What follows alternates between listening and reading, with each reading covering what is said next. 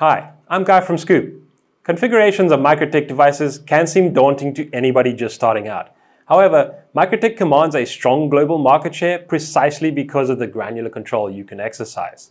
The tech community loves their creative approach to finding different ways of doing things. If you're new to MikroTik, we'll help you overcome these initial hurdles and welcome you into a world of networking possibilities.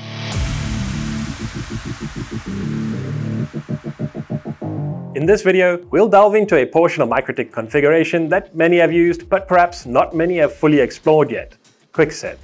If you just powered on your MikroTik router and opened your browser to 192.168.80.81, congrats, you're in the right place. You're looking at QuickSet, and it's the fastest way to get your router online. QuickSet is a simplified setup wizard built into MikroTik routers.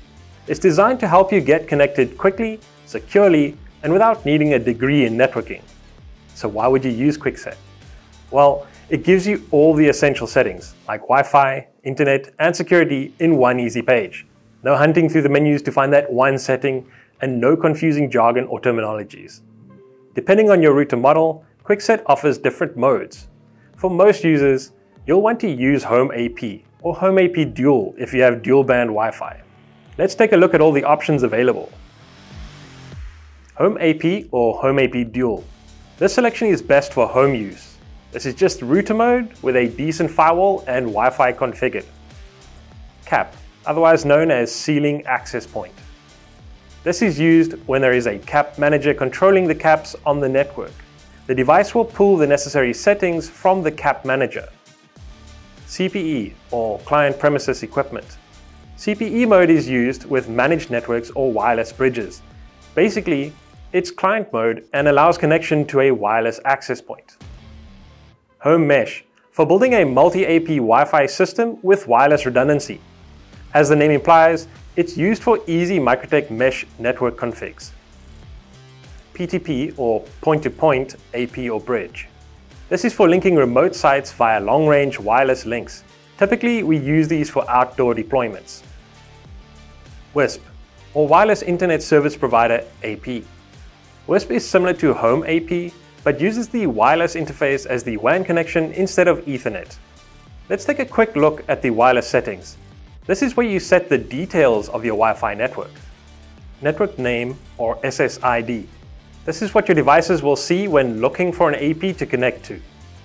Frequency and band. Usually, this is left on auto. It's to change the connection standards or the frequency at which the AP will broadcast use access list. This is optional. You can limit access to devices, for example, by specifying a MAC address. Wi-Fi password is used to connect to the SSID. Always ensure that you have a strong one. WPS accept. This is for devices like printers to connect to the network with the press of a button. Guest network. We use this for visitor connections, but they are isolated from the rest of the network only internet access is provided for guests. Let's move on to the internet section. This portion is what connects your router to your modem or ISP. Port. Here we specify which interface is being used to connect to your modem or ONT. Usually it's Ethernet port 1. Address acquisition. By default, this is set to DHCP, but can be changed depending on what your ISP requires in order to get an IP for internet access. MAC address. We only change this if your ISP says so. This is usually only done if there is a need to bypass brand restrictions. Firewall router. When configuring your router, always keep this on for security. It will automatically configure a firewall with several entries to ensure safe connection and prevent intruders from entering your network. The default that is applied is usually quite secure. Next, the local network section. This controls how devices inside your network connect and communicate.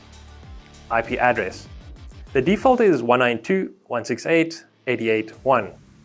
Change this if you would prefer the router to have a different LAN IP. Netmask. Leave this option at 255.255.255.0 for most home setups. This is the subnet dictating the range of IPs available for the LAN. Bridge all LAN ports puts all LAN interfaces into a software bridge and allows them to communicate with one another. DHCP server. For routers, keep this enabled. it automatically hands out IP addresses to your devices. NAT, or Network Address Translation. Leave this on unless your ISP provides public IPs to all of your devices. This hides your internal network behind the public IP that you get from the ISP. This provides yet another layer of security and privacy. Universal Plug and Play enables automatic port forwarding for UPnP enabled devices. Only turn this option on if you know you need it. For example, for NAS devices or gaming consoles.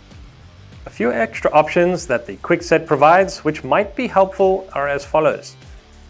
VPN access. This will allow you to securely access your home network remotely via built-in VPN support.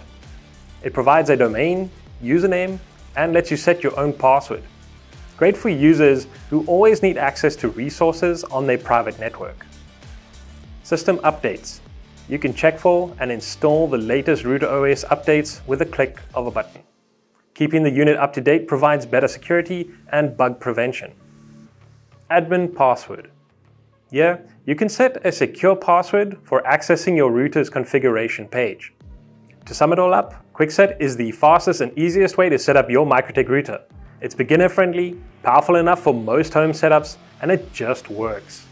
When you're ready for more advanced features, Webfig and Winbox are just a click away. Thanks for watching, and we'll see you in the next one, and happy networking.